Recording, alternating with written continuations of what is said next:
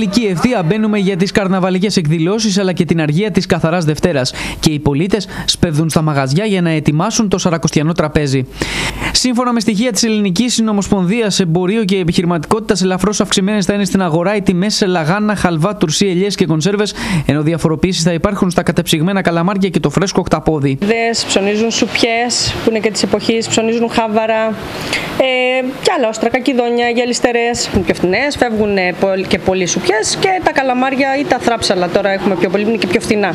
Με κόσμο γεμίζουν οι φούρνοι για την αγορά της παραδοσιακής λαγάνας αλλά και πολλών ακόμη καταστημάτων για τα νηστίσιμα που αυτές τις μέρες έχουν την τιμητική τους. Ε, Κυρίως η λαγάνα που δεν λείπει από το τραπέζι εννοείται και ο χαλβάς είναι κάτι που προτιμάνε, είτε είναι μυγδαλένιο είτε ο απλός ο χαλβάς. Μικρά, μικρά σερακοστιανά νηστίσιμα γλυκάκια.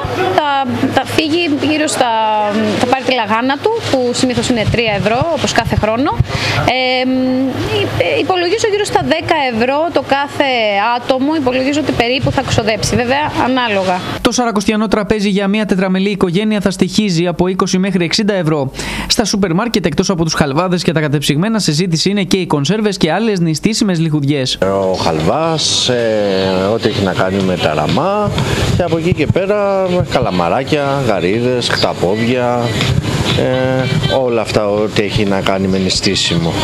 Προσπαθούμε να κρατάμε τις τιμές ίδιες και ακόμα χαμηλότερες ε, από τα προηγούμενα χρόνια και έχουμε συνεχόμενες ε, προσφορές. Το Σαρακοστιανό τραπέζι της Καθαράς Δευτέρας αποτελεί μια παράδοση πολλών ετών και είναι το ξεκίνημα μιας μεγάλης νηστείας που διαρκεί για όσους πιστούς την ακολουθήσουν μέχρι την Μεγάλη Εβδομάδα και τις εκδηλώσεις του Πάσχα.